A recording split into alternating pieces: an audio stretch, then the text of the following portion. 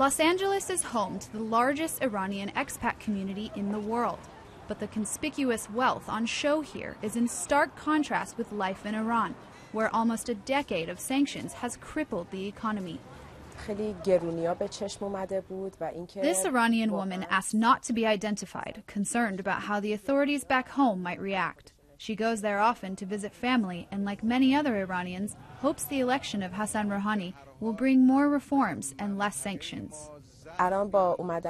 With the arrival of Mr. Rouhani, they think many things will improve, many good things will happen, and everything will get better. Many in the Iranian American community here in California are also optimistic about the chance for change. Farshad Farahat was criticized in Iran for his role as the interrogator in the film Argo. But the actor believes the power is back in the hands of the public, and Rouhani's election will make it easier for him to visit his homeland and one day act there.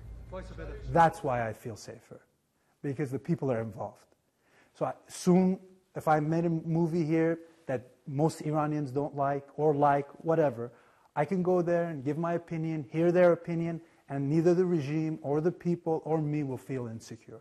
I'm hoping that's the atmosphere is that is created, and it can only be created when people are involved in their government.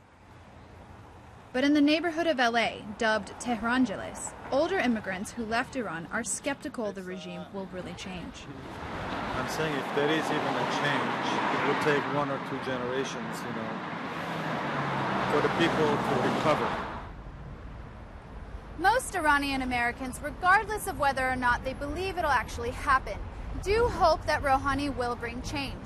Even many of those who have been in America for decades yearn to be able to return and retire in their native country. Suzanne Kianpour, BBC News, Los Angeles.